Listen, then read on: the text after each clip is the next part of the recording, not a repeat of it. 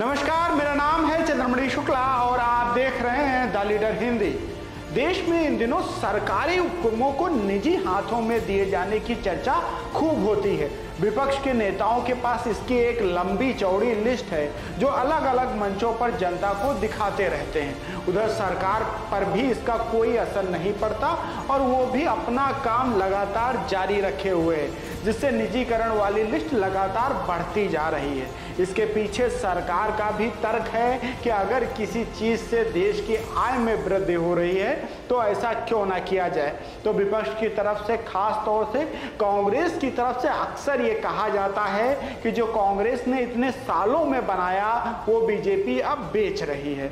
ये तो थी राजनीतिक बात, लेकिन आज हम इस मुद्दे पर इसलिए बात कर रहे हैं कि देश का पहला फाइव स्टार होटल, जिसे देश के पहले प्रधानमंत्री जवाहरलाल नेहरू ने बनवाया था, जिस होटल में नेहरू ने अपने हाथों से पेड़ लगाए थे, जिसे आज भी देश की राजधानी दिल्ली की शान कहा जाता है, वो अशोक होटल अब बिकने जा रहा है।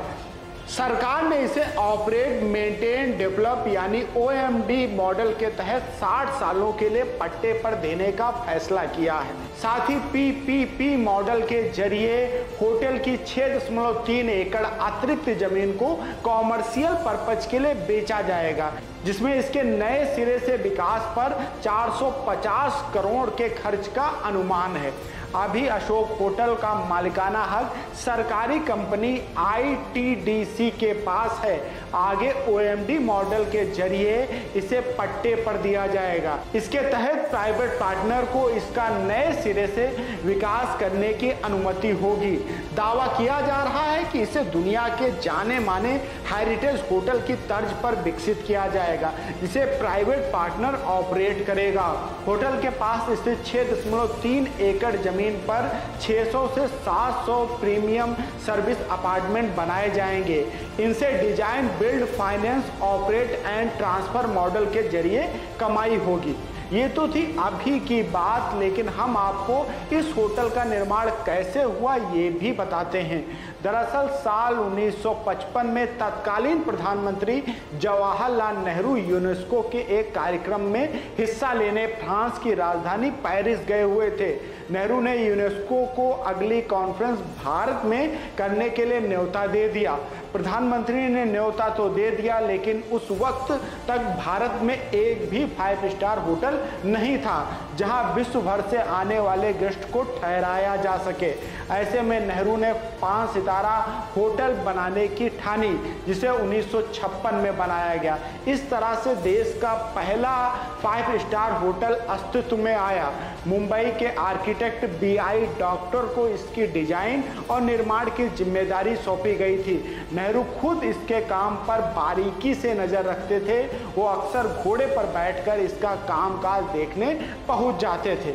इस होटल में 550 कमरे और 161 स्वीट्स हैं। होटल में करीब एक हज़ार कर्मचारी काम करते हैं, जिसके रोज़ाना के संचालन में करीब 35 लाख रुपए का खर्च आता है।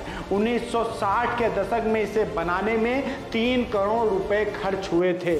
आपके मुँह से बस निकले इसके पहले मैं आपको बता दूँ कि उस समय देश में सोने की कीमत करीब नब्बे रुपए प्रति तोला हुआ करती थी और आज सोने की कीमत करीब पचास हज़ार रुपये तोला है। अब आप होटल बनने में आय की खर्च का तुलना आज के समय से करेंगे तो आपको ज़्यादा आसानी होगी। जब अशोक होटल का निर्माण हुआ था, तब भी कई रियासतों ने इसके निर्माण में सहयोग किया था। लेकिन इस पर नियंत्रण सरकार का ही रहा। लेकिन अब इसका विस्तार होने जा रहा है, तब ये निजी हाथों में जा रहा है। खैर, इस मुद्दे पर राजनीति होनी तय है। बात वही है कि इस तरह से सरकारी उपक्रमों को निजी हाथों में देना क्या सही है? हर चीज़ के अपने तर्क होते हैं। हानि लाभ भी देखा जाता है। तो भावनाओं भी नज़रअंदाज नहीं किया जा सकता। अगर आपको हमारे वीडियो पसंद आ रहे हैं तो लाइक करें सब्सक्राइब करें।